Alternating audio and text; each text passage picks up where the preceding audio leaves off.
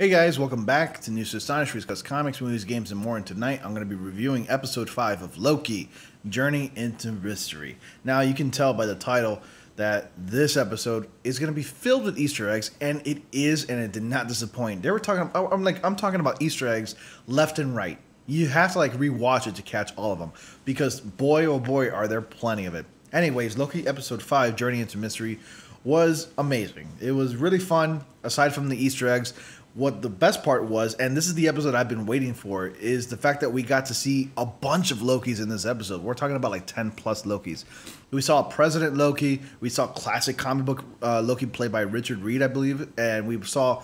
Uh, I guess you can call him the uh, the boastful Loki, Kid Loki, Alligator Loki. You know, they're all in this episode, and they all meet and greet. They go to their lair where they're hiding from this gigantic cloud um, creature that you can't really harm or you know fight basically who goes by the name of Alioth. It can't basically be defeated, but basically they're trying to figure a way, uh, out a way from like getting off of this planet where they're at. They're at the ends of time uh, only because these Lokis and everything else that's on this planet got pruned.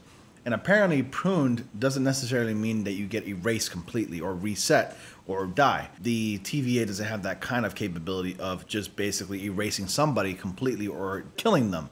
Um, it, everybody just gets sent to this place where there's no way out, apparently. So we cut to Sylvie Loki, who had Rain, uh, who had Renslayer, um, making her tell her what happened to Loki and what happened to Mobius basically when they got pruned. Apparently, Renslayer does know more than we thought. Uh, Renslayer has an idea about the timekeepers. Uh, she knows who she may know who's behind all this. She knew all about the pruning. Apparently, it you know she was aware that what had happened to people when they get pruned, and I think she has some evil tendencies. And I think Renslayer's character is going to be further further developed once we get to the Ant Man and the Wasp, Quantumania movies because Kang the Conqueror might be behind all of this. Kang the Conqueror does have a love relationship with Renslayer if you don't know um, in the comics. But aside from that, Sylvie basically prunes herself so that way she can be back with Loki. If you recall in the last episode, episode four, she had a happy memory, but she didn't say what it was. But I'm thinking that Sylvie's happy memory was basically being with Loki at the time they were together on Lamentis uh, because they were falling in love, if you couldn't tell. But I think that story is going to be further developed perhaps after all this is done because now Loki needs to get done right away. They need to get through this really quickly because it's only six episodes. So next Wednesday will be the last episode of Loki, at least for season one. Uh, apparently, they got approved for at least two or three seasons, if I'm not mistaken. Um, so we get on this place at the end of time bunch of Loki's there. A lot of Easter eggs. You know, there was like the Thanos ca- uh, copter. If you don't know, Thanos actually had a helicopter in the comics. It was kind of cool to see that, you know, rusted and dirty. Uh, there was Throg, who's Thor as a frog, who made a brief appearance in the glass jar. I mean, wasn't really too hard to miss. Uh, I did have to play it back a couple times and pause just to make sure that what I was looking at was an actual frog dressed as Thor. And um, we even saw like you know, Kid Loki, of course, that wasn't an, uh, a hard Easter egg to miss. I mean, that Kid Loki is a character, except that he's a good version of Loki in the comics. And then we also have like the episode titled "Journey into Mystery," which is also an Easter egg in itself. Uh, if you've ever read any comic books, Loki's very first appearance was Journey into Mystery, uh, number 84. And that was actually basically the basis of Thor's comic books, which were titled Journey into Mystery and it was really cool to see all these Easter eggs. You know, um, that whole thing about Loki going like, "Come on, what did you expect when you know President Loki?" That was kind of a one-off thing. It was kind of funny seeing how all these Lokis were out of order. They can't trust each other. They were be- betraying each other. Uh, they were just basically double crossing each other back to back, and it was really insane to see this. And to the original Loki, we'll call it our Loki, Tom Hiddleston. Um, he sees this as a total nightmare. How it's everything's out of control. Everybody's a every Loki's a total whack job, and it was really fun to see that. Owen Wilson's character Mobius comes back. Uh, no surprise there if Loki was alive in the last episode when he got pruned. So is Mobius. At least we know where all the characters go when they get pruned, and it's this planet. Now, I got to hand it off to uh, Alligator Loki. He really stole this episode. What's funny is that there's this ambiguity whether like this alligator is really truly a Loki or not. You know, it, it's it kind of sets the tone sets the tone of like uh, what a Loki is. You know, you're not sure what he is. Um, like, can you really trust him? Is he lying? Uh, what we know is that Loki's basically survive. They may lose frequently, but they survive, and that's what all these Lokis did on this planet. Where like there's this like eating cloud that consumes all of matter, no matter what.